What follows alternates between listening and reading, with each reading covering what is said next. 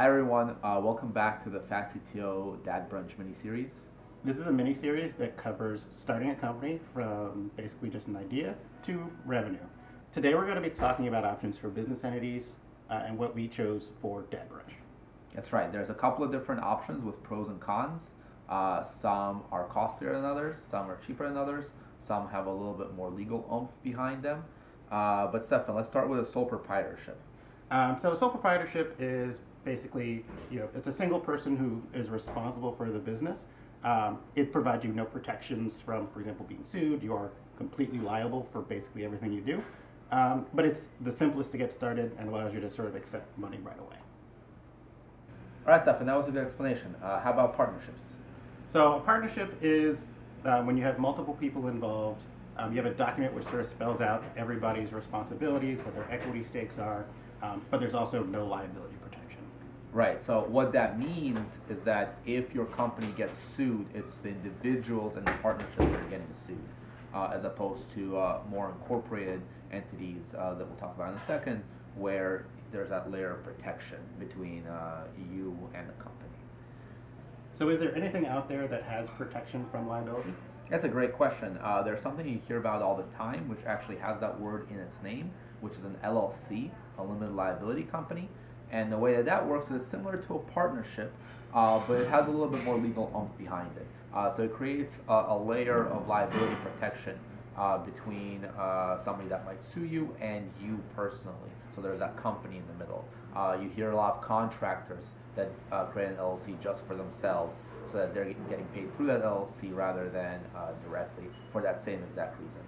so with an LLC, you could have either you by yourself um, uh, as a managing partner, or you could have other people that are partners uh, with you.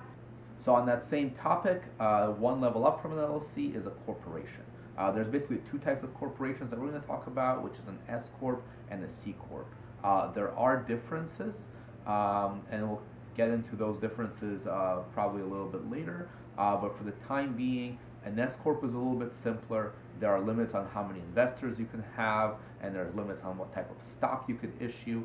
A C corp is a little bit more involved, uh, and when you actually go to raise money, if you go to raise money, uh, typically you're going to have to convert your company to a C corp.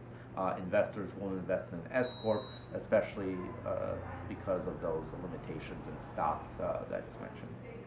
So, with that in mind and considering our options, we decided for the Dad Brunch project uh, to do a partnership uh, for uh, a couple of reasons. Primarily, um, one is just the two of us. Um, we've known each other a long time. We do have we trust each other to a degree. Right. He bought my tea. Um, but also there are uh, costs involved with everything you do. Um, you know, the sole proprietorship and partnerships are probably going to be your cheapest options on the outset. Whereas an LLC or a corporation require lawyers and filing fees uh, which can make your sort of startup costs uh, balloon relatively quickly. Um, so we decided to you know start with a partnership, and if as things progress and grow, we'll you know transition later to an entity that better uh, suits our needs.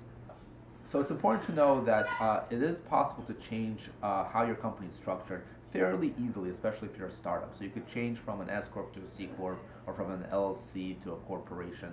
Uh, there is a little bit of a legal work involved and a little bit of a fee, uh, but don't overthink it uh, in the beginning. Uh, so to use a couple examples, I formally uh, registered an LLC in Massachusetts, having uh, lived in Massachusetts, and that cost $500 to do, plus a registration fee with the city of Boston.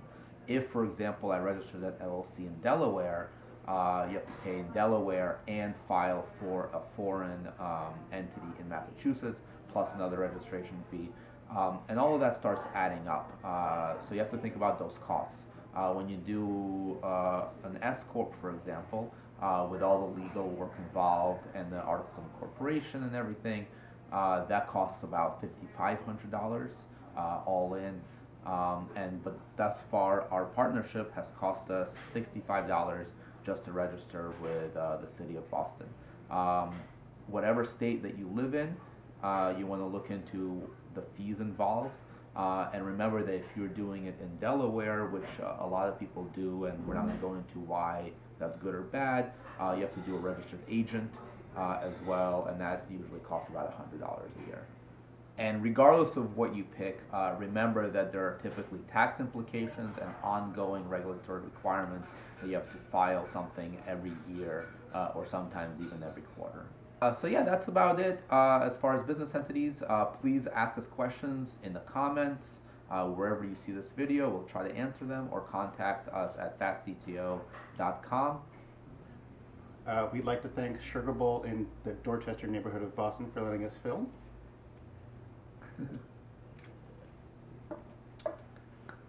um, and yes, thank you guys for watching. Yeah, thank you. Uh, on the next video, we hope to talk about uh, opening a bank account uh, and all the steps that go into that and considerations and fees that you have to watch out for. Uh, all good things. Thank you. Previously created an LLC uh, in Massachusetts.